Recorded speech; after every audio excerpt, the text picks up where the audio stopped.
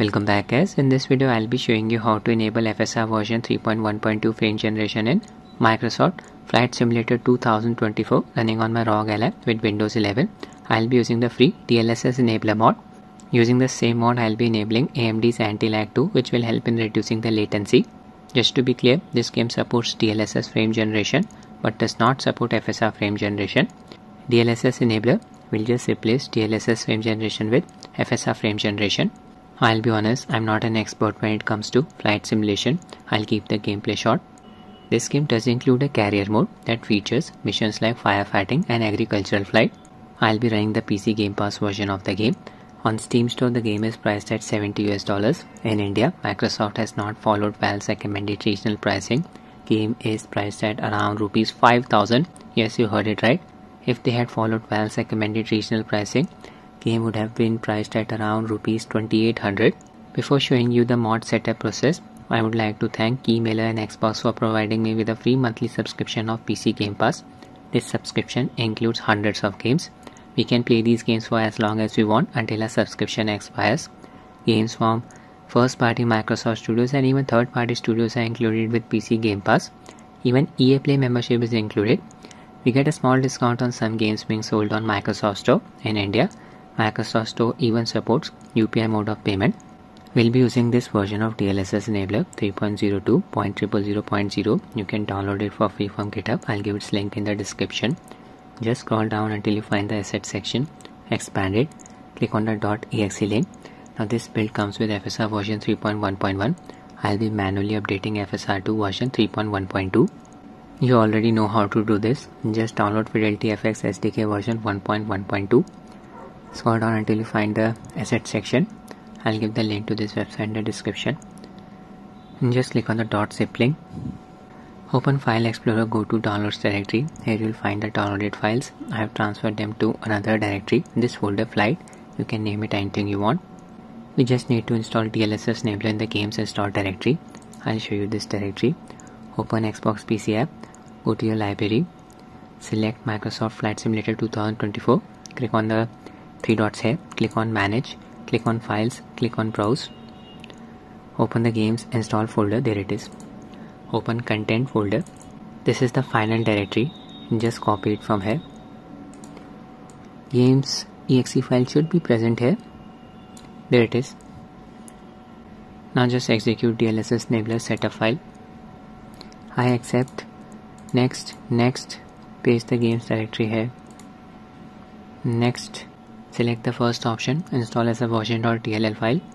Check this option as well, enable support for AMD and Intel GPUs as ROG Ally has an AMD based GPU. If you have an NVIDIA based GPU, don't check this option. Next, install. Uncheck this option, finish. Now I'll be manually updating FSR. Open Fidelity FX SDK.zip file. Open bin folder just copy this DLL file amd underscore fidelity fx underscore dx12 paste it in the same directory where you installed DLSS enabler right here in this directory. Override. You can check the version of FSR right click properties details version 1.0.1.38338 it corresponds to FSR version 3.1.2 in the same directory just look for a file name nvngx.ini it's here somewhere. There it is. Open it. Just set generator to fsr 31 reflex on. Reflex emulation auto. Click on file. Click on save. For the pc game pass version of the game games profile does not pop up automatically in adrenaline software. So no access to adrenaline settings. For this game I've set the UMA buffer size to 5GB. My ally is running on BIOS version 441. I have installed AMD's latest preview GPU driver which is optimized for Dragon Age the Veilguard. Using a 30 watts manual profile, all three power values set at 30 watts. 900p resolution CPU boost disabled. Even at 900p resolution, the game's performance will be bottlenecked by the single core CPU performance. Connected my Gulikit KK3 Max gamepad to allow Bluetooth mode. FPS in this game stays within a range of 25 to 35 on ROG Ally at 900p resolution low preset. Using a custom afterburner overlay to show you the performance metrics, I'll enable anti-lag 2 latency monitor. Press its hotkey combo, Alt Shift and L keys. Keep pressing the combo to cycle through the different display options. Need to have AMD's GPU driver version 24.7.1 or anything newer than that in order to use anti-lag 2 on ROG Ally. Show you the game settings now. Display mode, full screen, resolution 900p. Anti-aliasing, need to set it to DLSS there you go. This means the mod is working. Using the upscalers quality preset. Frame generation disable for the time being. Vsync off. Nvidia reflex enable. Very important. Otherwise anti-lag 2 won't work. Dynamic setting disabled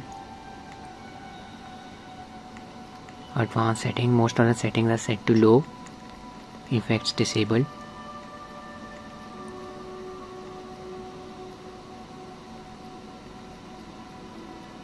So many settings are available. Motion blur off glass cockpit refresh rate set to high.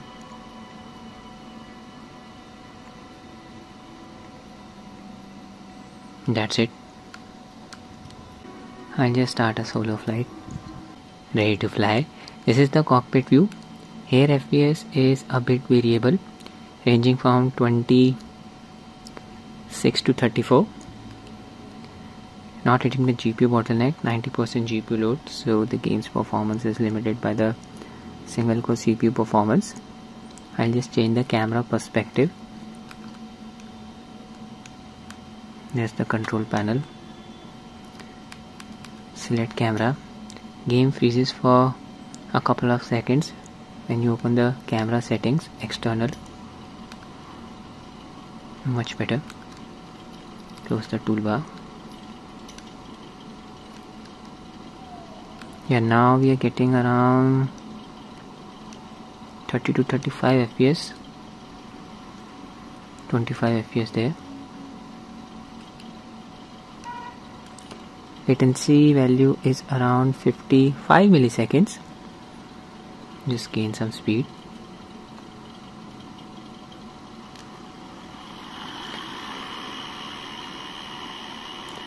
Hopefully I won't crash my plane.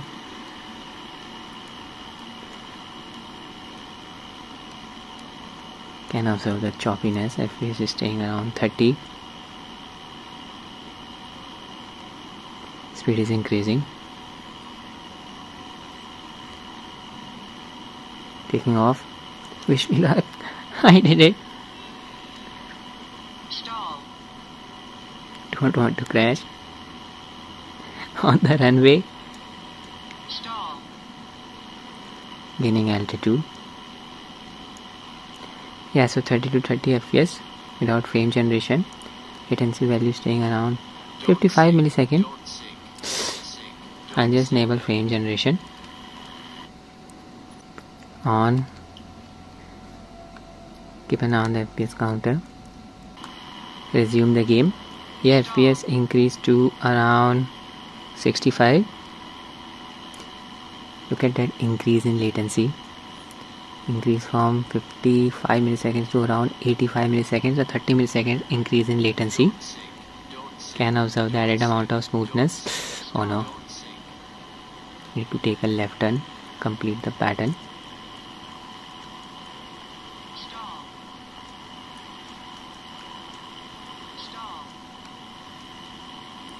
the choppiness is gone now. No not going down. Airport area is more demanding than the open area. But you are going to spend most of your time flying your plane not just sitting in your plane parked at the airport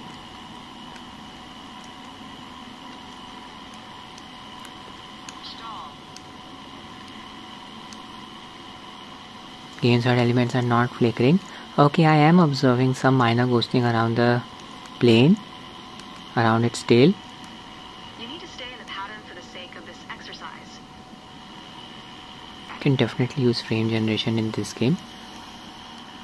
Real world input delay. Not a first person shooter. Almost hitting the GPU bottleneck now. I'll switch to the cockpit view do it quickly before my plane crashes. Game freezes for a few seconds and we change the camera angle. I think I did it yeah. Inside the plane see?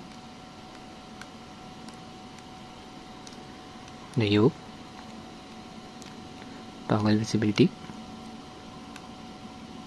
Look at that environment.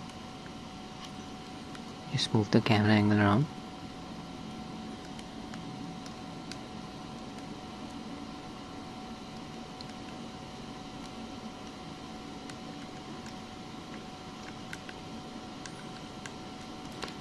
change the speed. Interacting with the yoke.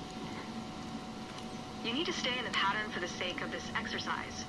50 to 60 fps so that's it with the video guys. I hope you find it useful. Thanks for watching and have a nice day